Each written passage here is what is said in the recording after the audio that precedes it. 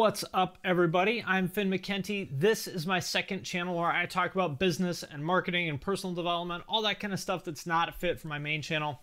What I wanted to talk about today was why I changed my mind about doing videos about Dance Gavin Dance and Pantera, Rage Against the Machine, some of these other bands where I said I was never going to make a video about them, either because like I didn't like their fan base or I wasn't interested in it or whatever. There's a few different reasons why I said I would never do these videos, and yet I did. So I wanted to share my thought process there because I think there's some larger takeaways that are relevant for creators in particular, but really anybody, because the root of all this, I think, lies in ego and self centeredness and being unwilling to change. So I will walk you through all of that in this video. Before I do that, as usual, I want to plug my social media coaching program. There's a link to that in the description. It's a fit for really two kinds of people, I think think number one is a creator of any kind. Like if you're a YouTuber, if you want to start an Instagram page, something like that, you want to grow that and eventually monetize it in some way. And number two, if you are an individual that owns a company or a brand or something like that, and you want to grow your own personal brand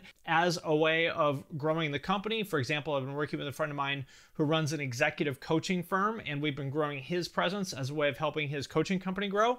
So if you are either of those things, then check it out at the link below if you're interested. So why did I change my mind about Dance Gavin Dance? And am I going to change my mind about Deftones and Faith No More and a lot of the other bands that I said I would never make videos about? So the reason why I originally didn't want to make that Dance Gavin Dance video and why I'm still kind of on the fence about the other ones is just because they're not creatively exciting to me. Because I don't really like any of those bands that much. And at least right now, there's no kind of big insight about them that I want to communicate. Because what really excites me is if I feel like I came up with some sort of an idea of like understanding why something is popular or something people don't understand about it or underappreciate, and I get excited about communicating that I don't have that with those bands. And maybe I'll find it. If I do, I'll make a video about them. But really what it comes down to is ego. Where my head was at, I think, like I didn't consciously say this, but I think this is kind of where I was at. I was mad because I felt like people should like the content that I want to make. Just the same as when bands like put out their third album that's totally different from the first two and nobody likes it and they get mad like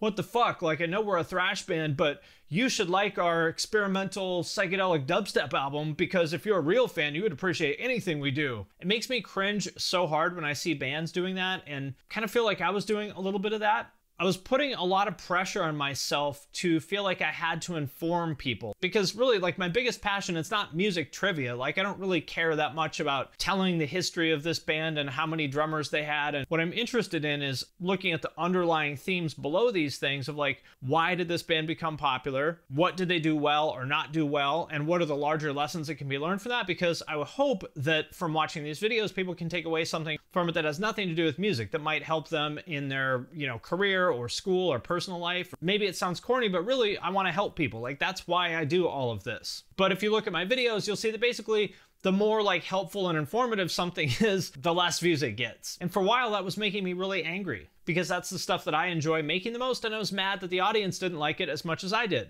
Which is exactly the same as when a band puts out their weird third album of psychedelic dubstep and nobody likes it and they get butthurt. And so even though my channel was more successful than ever, like I had just hit 200,000 subscribers, it was still growing, like everything was growing great, but, but I was kind of frustrated and a little bit unhappy despite all of that. And that felt bad. Like, it felt like there was something wrong. And what I realized is that it was ego and entitlement on my part. Like, the audience is not obligated to like anything. So I just kind of took that pressure off myself of like feeling like I had to inform people and give them some sort of useful information. I just said, you know what?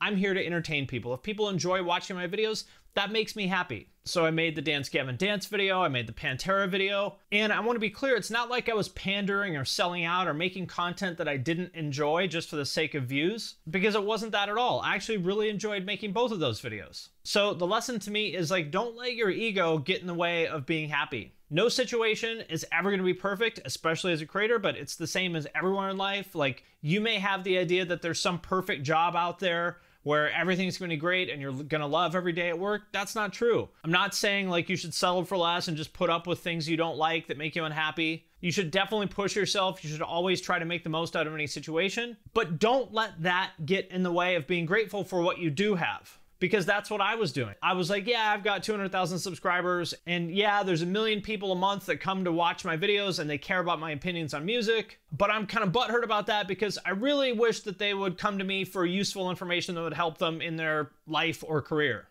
as soon as I realized that I was kind of falling into that pattern of thinking, I was instantly like, okay, this is dumb. Any job that you have, there's always going to be something about it that you don't like. And if you focus on that, you can make yourself really miserable no matter how good the rest of the situation is. I've done that before many times, and in hindsight, I realized that I just fucked up what was actually a pretty good situation. And I've seen other people do the same. I'll give you an example of that. There was a guy when I worked at this product design agency. There's kind of two parts of that process of designing a product. Like, let's say you're designing headphones. There's one part that's the more creative side, which is like sketching out the way that the headphones are going to look and the way they'll fold and kind of the fun part of designing how the thing works and looks. And then there's the other part of this of actually like building this in in the 3D modeling program which is then what you will hand off to the factory and the engineers to actually like produce the thing. There was a guy on my team who was super good at the technical part. He was great at 3D modeling, he was really fast at it, did great work,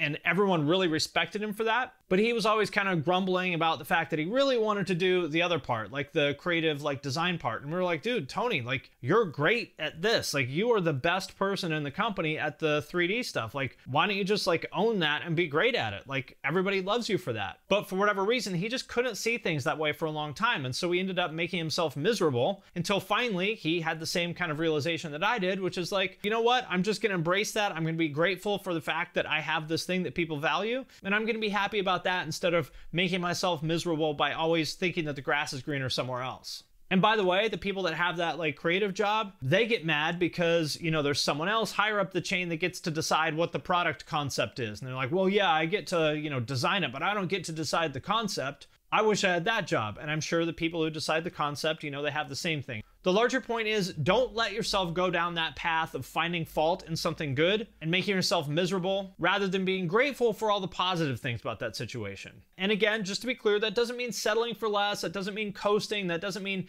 letting yourself stagnate anywhere. Like you can still be pushing for the next thing, and you should be. Just don't make yourself miserable by letting yourself go down that path of negativity kind of counterintuitive, but I think by being grateful and embracing what you have now, that is actually how you excel and find the next thing. So, like for me, as soon as I took that constraint off myself and just said, you know what, I'm gonna entertain people, let's just have fun with this, that is when I hit the next inflection point of growth for my channel. Like I think it was uh, April or so, March or April, and I did that Pantera video, and then May and June were like my biggest months ever, and that felt great. So that's kind of how I'm looking at things going forward. My job is just to give people what they want, to entertain people, and what I've found actually is that people are taking away more information than I realize. Like, you don't have to beat people over the head with it. And in fact, by making it entertaining, that's what's going to make people pay more attention and absorb the useful stuff that is in there. Just like at school, the teachers that were the most entertaining and high energy, those are the ones you paid more attention in, right? And so maybe they didn't like pack in as much information into their course as someone else did